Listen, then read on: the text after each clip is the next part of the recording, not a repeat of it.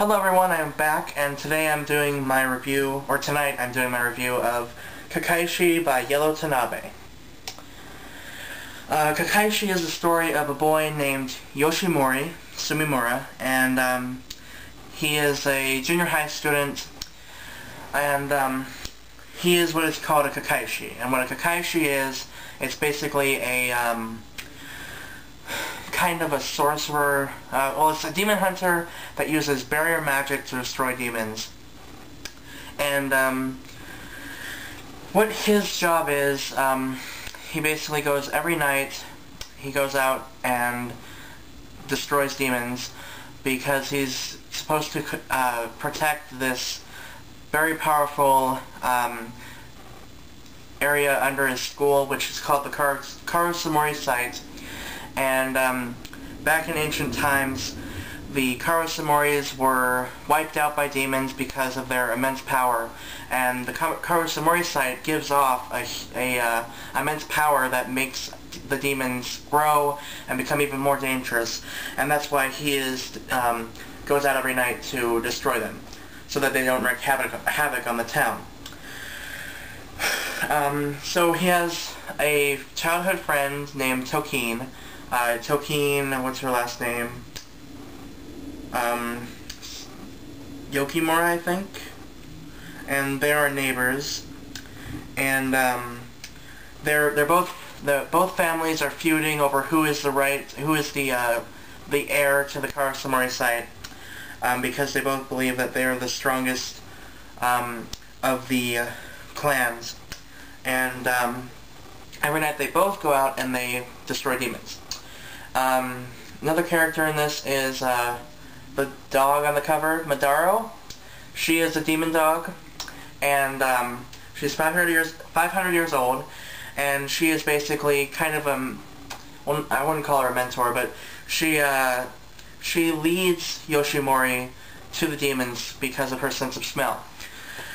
Um, same with there's Tokine on the Tokine on the back. And um, with Tokine, she has her own demon dog, and his name is Hakubi, and he also leads her to demons. And it's really funny. The the two demon dogs add some comedy to comedy to this this series. Um, Hakubi keeps calling Tokine honey all the time, kind of like a pervert, and uh, Madarao always scolds Yoshimori. And then you have Yoshimori's crotchety old grandfather, who is who wants only wants Yoshimori to become the best Kekkaishi, and Yoshimori doesn't want to become a Kekkaishi. Yoshimori wants to become a pastry chef, and he wants to bake cakes, and um, his grandfather doesn't want that. So um, every time he bakes a cake, his grandfather comes in and destroys it, and it's really, really hilarious. Um, it's, I'll show you some of the arts. There's a little bit of it. Um, it's pretty good artwork. Uh, not the best I've seen, but pretty good. I like it. And um, the story progresses um, later on. Um, you don't really get to see like an antagonist until about volume six. So it's a, I compare it to Bleach in a way because I mean obviously they're demon hunters, but it's a twist because they're barrier magic users. And um, what's really cool about this series is each demon unlike Bleach, has a different uh, name to it. Like, it's a different type of... Not a different type, but a different uh, name. So, like... I'll try to find one really quick. Um, here's one. This is really awesome. Um, this one's called the Yumigane, and it is an iron bow. And here's a picture of it. It's so awesome, isn't it? And they all have different attributes and different, like, powers and things that they can use to... It, it like kind of evade human contact. And it's a really great series. I have this is the first manga I ever read. Um, I received this uh, on my birthday. My friend bought it for me. The first five volumes, he bought them at Barnes & Noble in the bargain section. And he liked it, and he's not an otaku. He doesn't like manga or anime. But he liked this. So he bought it for me, and this is what got me into, into manga. And um, at the time, I loved Bleach, so this really reminds me of Bleach. Uh, if you really like Bleach, then you should definitely pick this up. This is one of those uh, kind of, uh, I like to call it a uh, underrated manga series that really deserves more fans because it's really, really good.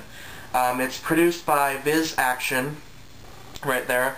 Same company who produces Full Metal Alchemist and other series. Um, Ranma One Half, Inuyasha, you know, there's a lot of good series that this company makes. Uh, each volume is $9.99 in America, $13.95 in Canada, and um, it's a really great series. I really do recommend it, and um, yeah, I have eight volumes so far. There are about 20 in the series. Uh, not not just 20. I mean, right now at my bookstore there are 20 volumes, and I think there's it's still ongoing in Japan. I think there's like 26, maybe more, in Japan. I'm not really too sure on that, but it's still ongoing. So I'm looking forward to buying more of this, and um, that's basically all I have to say for this. Uh, I hope you enjoyed this video. Hope you go out and pick up this novel or this graphic novel, it's or manga. God, can't talk. Um, it's a really awesome manga series. I definitely recommend it. And that's my review. So I hope you enjoyed. I hope you go up, go out and pick this up. And I'll see you guys tomorrow with my daily vlog. See you later.